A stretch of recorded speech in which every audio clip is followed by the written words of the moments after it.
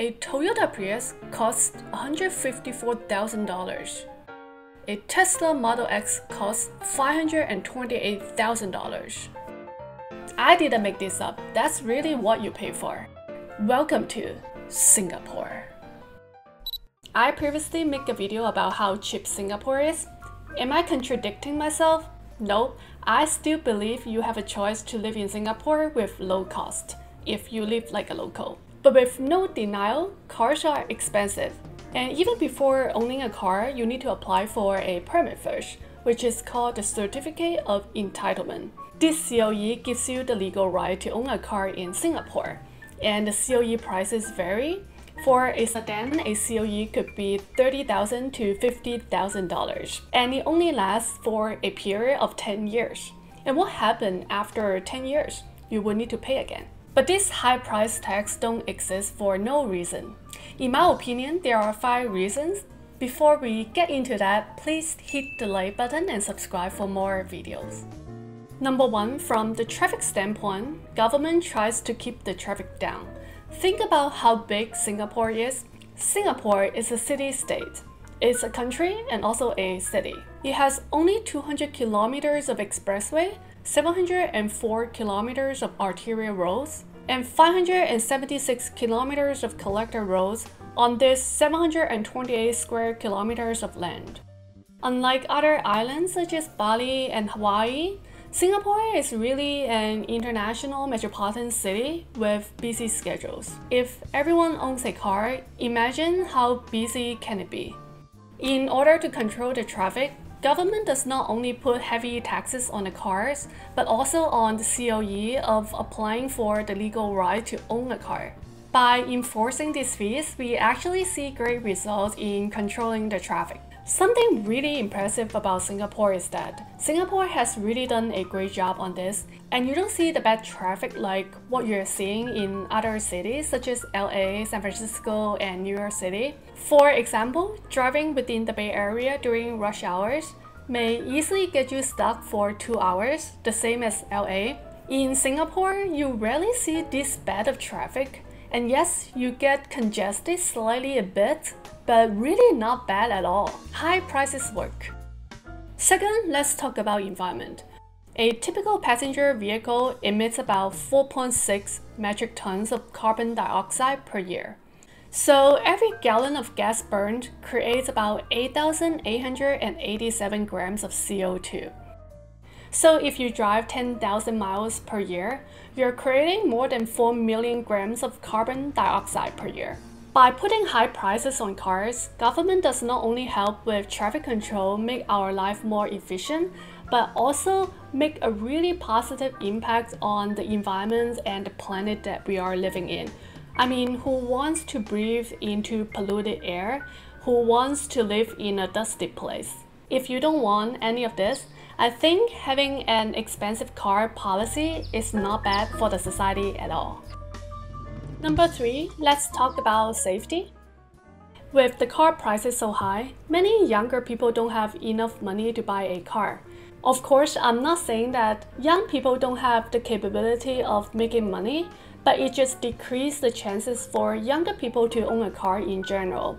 You probably need to work for more than 10 years to save enough to buy a car.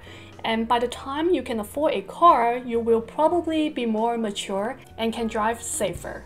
A recent Singapore news just a week or two ago about the Tanjong Pagar car crash where all the five passengers and drivers in their 20s didn't survive. Some media source reported that they were driving with an estimated speed of 220 kilometers an hour. Although there's no absolute correlation between age and safety, younger people tend to enjoy the excitement of adventure sports, such as driving a fast car. I'm very sorry about the loss for their families and friends, but if they couldn't afford a car, maybe they would have been safe. I don't know. This is actually the most fatal accident in Singapore in the past decade. Singapore is one of the safest countries in terms of the death rate per 100,000 residents, according to an online source. I don't know if the high price of the car plays a role here, like what I said earlier on, but certainly if you can afford a car, with one less car on the road, one less car will be crashed. Next, let's talk about public transportation. Now, by making the private cars expensive in Singapore, the government is not trying to make your life unaffordable. In fact, they can use the taxes that they collect from the expensive cars to make other alternative public transportations like buses and trains more affordable and cheaper, so that all walks of life can afford it. I've mentioned in one of my previous videos that I pay $25 a day on commuting from a town that is 30 minutes away from San Francisco into the city. But in Singapore, I actually mostly commute with MRT train, which is the subway train in Singapore. It's just $1.10 one way, depending on your distance.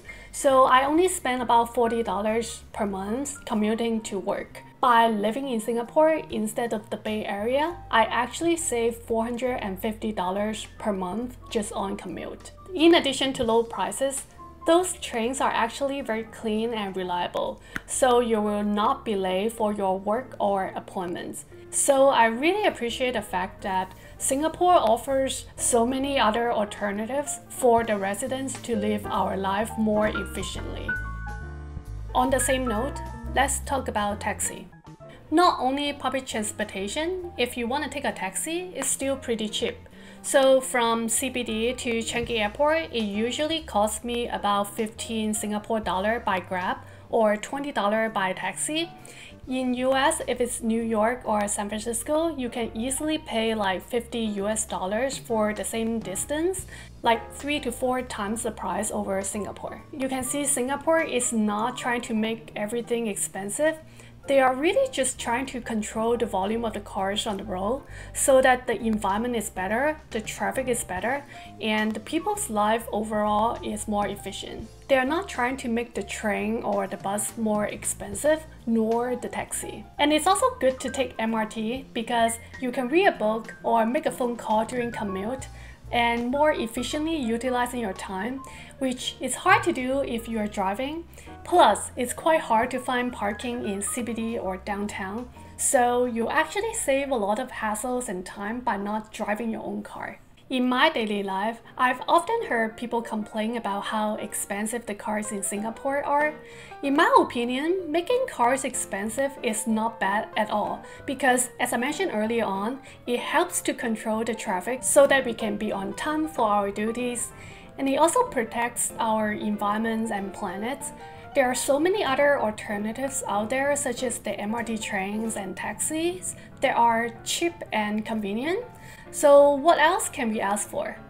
I hope you like this video. If you haven't added me on Instagram and podcast, my handles are the Krazy Koala listed on the screen here. And I really hope to see you on my Patreon community that is patreon.com slash the Krazy Koala. The link also in the description box. Stay safe and have a great day.